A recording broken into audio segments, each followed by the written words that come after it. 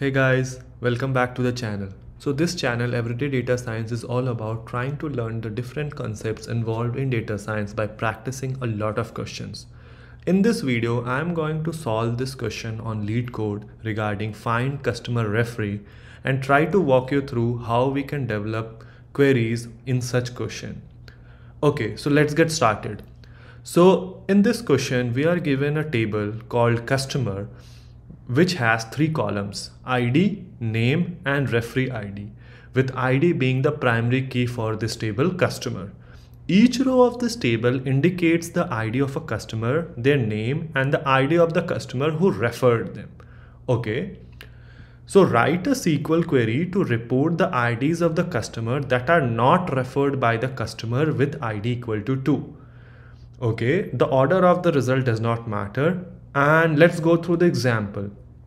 Okay, so basically looking at this table, so which all rows don't have referee ID equal to 2 because then only we are able to answer it, right? So report the ID. So the customers which were not referred by customer ID equal to 2. So if we exclude these rows, then uh, we find the customers which were referred by someone else than customer number 2, right?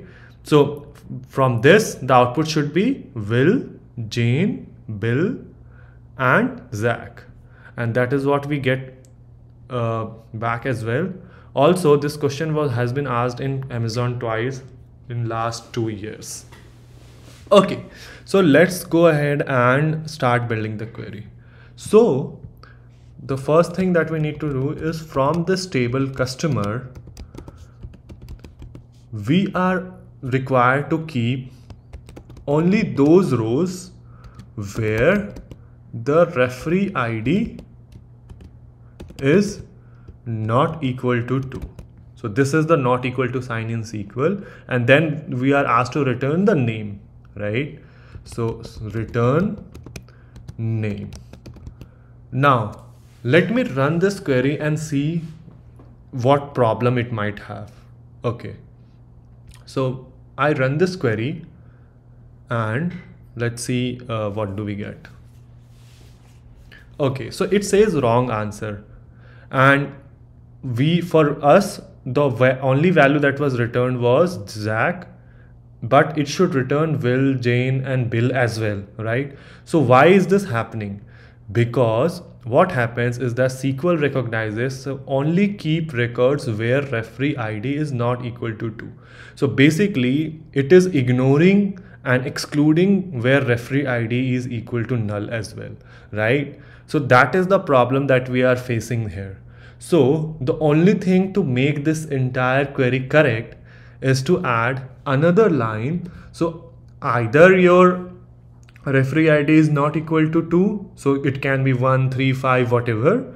And for these cases where the referee id is mentioned null or the referee id is null if we include it then it is also going to include the names of people will like will jane bill etc so where or referee id is null.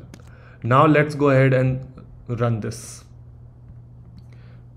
so yeah, uh, this is accepted and our output is as uh, equal to what is being accepted. Let's go ahead and submit it and see uh, if this passes all the test cases. So yeah, it is accepted and it passes all the test cases.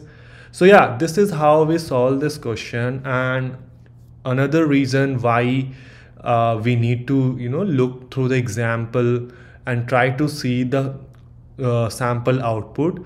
Because again uh, just like the previous video if you just uh, refer to the language of this question we, we won't be able to guess what is the problem or why are we getting the wrong answer.